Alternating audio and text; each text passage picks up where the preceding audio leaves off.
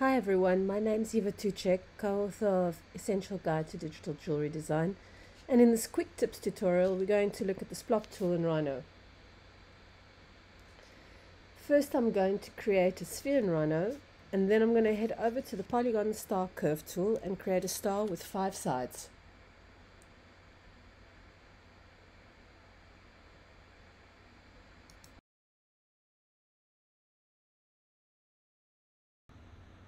Once we've created our star, we're going to use the extrude tool to extrude the star by 1 2 millimeters and then we can start using the splop tool.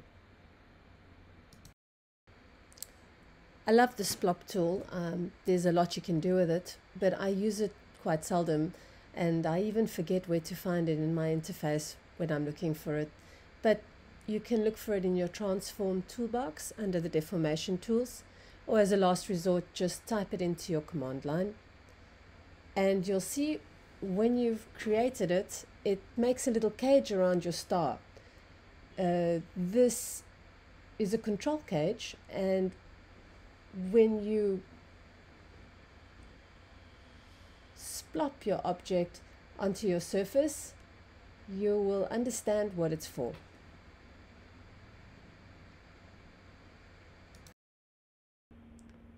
The center of your sphere will determine the location on your surface from which your object is spawning. And with the little cage, you can determine the rotation angle and the scale of your object. Splop tool works a little bit like a flow along surface tool.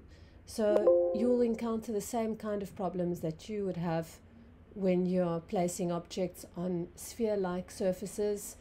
You have to be careful about the poles and that your objects are not deformed along the surface.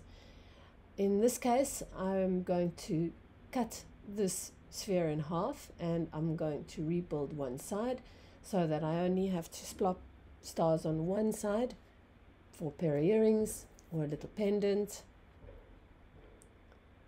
We go to rebuild surface.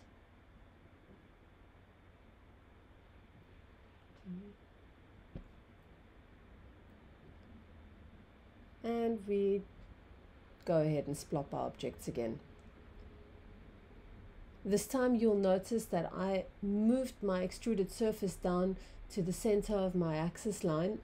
This ensures that when I'm splopping the stars on the surface that they are coming through and that the center of the star is on the surface of the object, uh, not on the outside layer of the object so that we can do a little Boolean union, uh, create an offset surface of our main surface, and just make that tad bit smaller so that all our stars are showing through.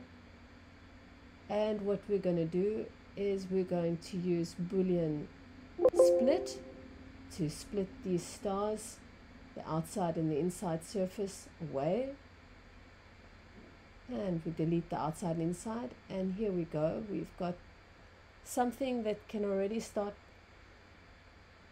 a pendant a pair of earrings um, part of a bracelet a component. And there you go. That's the splop tool